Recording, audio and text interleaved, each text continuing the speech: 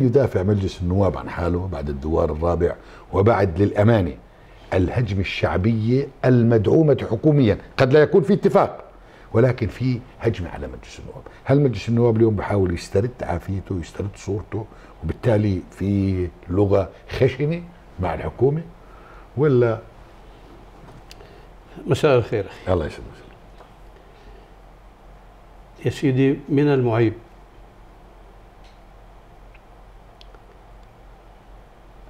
أن يكون حال مجلس النواب على ما هو عليه الآن. والحقيقة ليس الحق على النواب.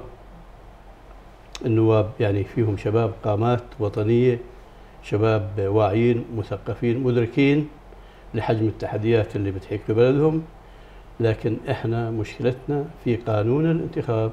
نعم. هذا القانون السيء.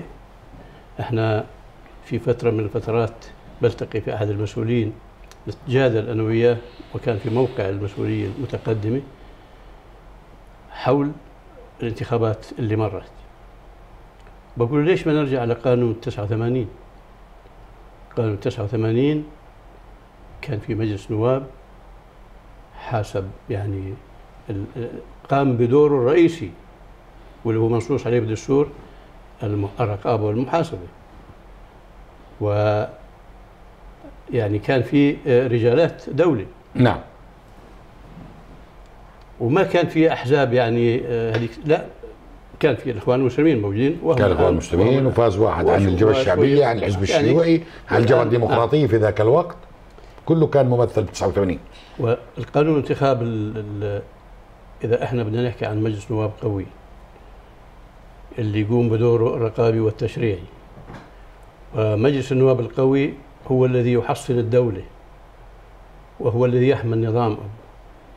أما قانون انتخاب ضعيف بنتج نواب مع احترامي للشباب كلهم نشامة وأنا ما بطعن في أي واحد فيهم لكن هم جاءوا بهذه الطريقة. انتخابات فردية عشائرية.